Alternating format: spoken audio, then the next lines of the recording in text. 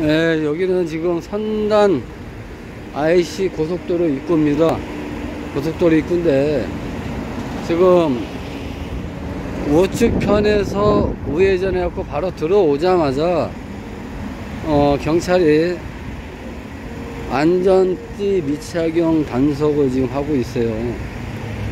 이건 뭐 여기 단속한다는 표시도 없고 단속한다는 표시도 없이 지금 이렇게 단속을 하고 있어요. 함정 단속을. 이렇게 하면 되겠습니까, 이게?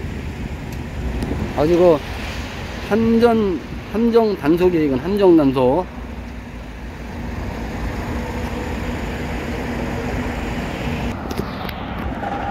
지금 함정 단속하는 걸 촬영을 하니까 지금 빠져나가고 있어요, 지금.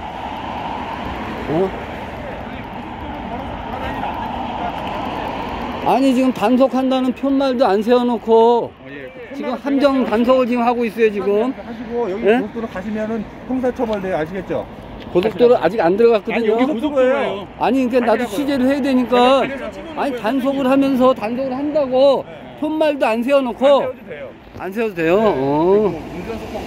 네, 그렇게 그런 식으로 함정 단속하면 안 되는 거잖아 지금. 예? 편말을 세워놓고 하던가 함정단속은 그럴 때 사용하는 말은 아니고요. 선생님 고속도로 걸어 돌아다니기 안 되시니까 선생님! 이동하시라고요. 네. 내려가시라고. 고속도로 이렇게 여기. 고속도로예요. 여기 올라오는 데부터 교차로부터는